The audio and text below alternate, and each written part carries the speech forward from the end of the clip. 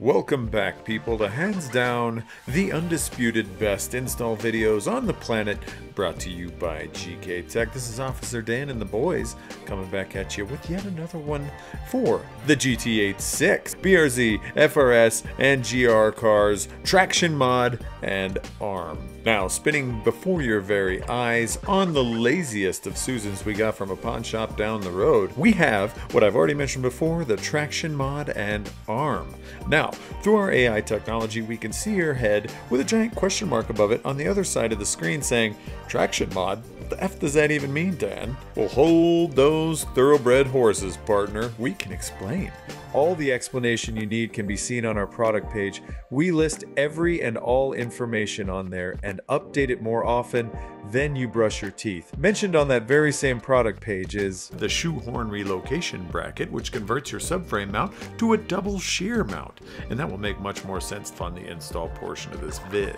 We'll deep dive into this later, but to keep you up for speed for now, the Chinese restaurant is calling and asking for their lazy Susan back, so we best be heading over to the install section of this here vid. First step is to remove the under tray so that you actually have access to remove the traction arm. Pop off the handy dandy clips on both sides of the tray, then whip off those two 10mm nuts, as you can see, and lower the tray on down.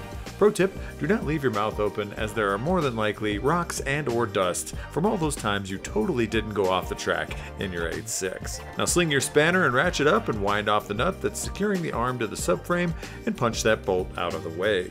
Head south to the other side of the arm, sling your tool up, and wind that nut off, punching that bolt out of the knuckle, and then proceeding to remove the arm. Now, for some reason, people always love to compare things, so we thought we'd give you the visual pleasure of showing that comparison.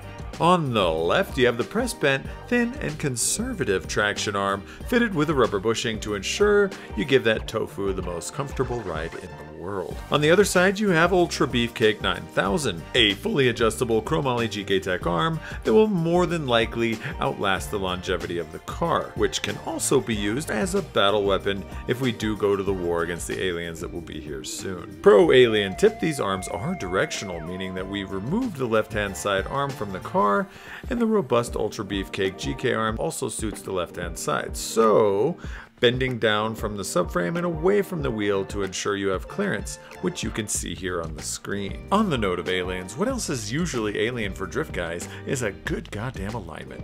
On your very screen is the arm at its oh so minimal length, measuring 61 millimeters from the start of where the locking nut bottoms out to the center of the bearing. If you were to wind that to the OEM equivalent length, that would measure in at 89 millimeters, measuring in the same fashion as before, from the base of the arm to the middle of the rose joint, which is made up of 59 millimeters measuring from the base of the adjuster to the middle of the rose joint. Now, the OEM equivalent length will change depending on ride height, do not worry, as we've got a handy little table to show you right here on this very screen. We also include this in the ASM guide. To break it down, the OEM ride height is approximately 370 millimeters measuring from the wheel center to the top of the guard. That means that as the car is lowered, the arm should be made longer to accommodate, which works out to be 10 millimeters for every 25 millimeters lower than OEM or 1 inches for all the Americans still using the Imperial system all the time. Also, pro adjustment tip, we recommend starting at the OEM equivalent length for your given ride height, which should be suitable for grip and mild drift applications. This can be adjusted by being reduced in 5mm increments to make the toe curve in more aggressive and increase the rear end grip at the expense of tire life. Drifters, eat your hearts out. Then lastly, you'll have the maximum safe length of adjustment, which measures in at 104mm measuring from the same damn places we mentioned in the last two times, which is made up of 64mm again from the same damn places we've mentioned three times now. We always recommend stretching this little guy's legs first, meaning winding it out to its maximum maximum safe extension and then inwards from there to the OEM equivalent length. This ensures you get a safe thread overlap of both the rose joint and the extender. Now that we're locked, cocked, and ready to rock, let's head back over to the Tofu truck. First step, remove the little 10mm holding the handbrake cable to the subframe bracket. Head north and whip those two bolts out of the chassis that secure the front of the bracket, then head back down and whip the bolt that holds the subframe bracket to the subframe. Get your beautiful shoehorn piece that we've so lovingly provided and appropriately mate that with the OEM subframe bracket, turning this sucker into a slick and strong double shear mount. Heading back to the front, let's install the two bolts in the front of said bracket, leaving those loose and hand tight for now as you want the wiggle room to get the rest of the gear together. Head inwards slightly, line back up your handbrake cable and whip that 10mm bolt back through. Wind that down and tighten it down to the spec shown right here on the screen. Now get your uber robust traction arm after fitting the thick spacer on the top and the thin spacer on the bottom and slide that into the double shear mount. Remember fitting up the correct side so that it bends down to clear the subframe and also out to clear the wheel. Get the supplied hardware and throw that up through the double shear mount, winding the nut safely and snugly into their threads. Scoot on over to the knuckle side and throw the OEM bolt through one side, then wind the nut on the other. And being that everything is fitted up, we can go ahead and torque this sucker down to the specs shown on the screen. Head up to the two mounting bolts on the subframe bracket, being as we left these only hand tight, tighten them down properly, and most importantly, leave the subframe bolt until last, torquing that down to these specs shown right here. And now torque these little dudes down to the specs shown here as well. Now let's address the big metal elephant in the room. I don't know if you've realized this or not, but you're not actually bolting the traction arm to the same mount. Shock, shock, horror, horror. From our research, we found that the subframe is loosely based off the all-wheel drive Subaru subframe, which has quite a bit of anti-squat. This is good for an all-wheel drive front-wheel drive car to prevent lift in the front and aid in traction, but it's not really ideal for a car that spins the rear wheels. How do we fix that?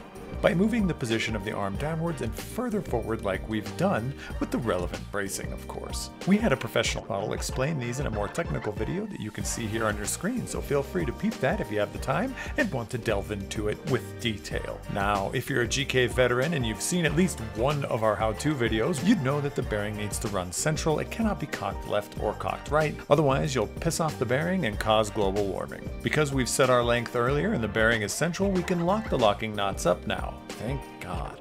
Wind those nuts on down, hold the extender with your favorite wrench, and tighten one locking nut down, then the other, ensuring they're just like my driving career and going absolutely nowhere. Now, pro tip number 368, depending on how low your Batmobile is and or where the locking nuts end up when you tighten them down, there may be some interference, so keep that in mind.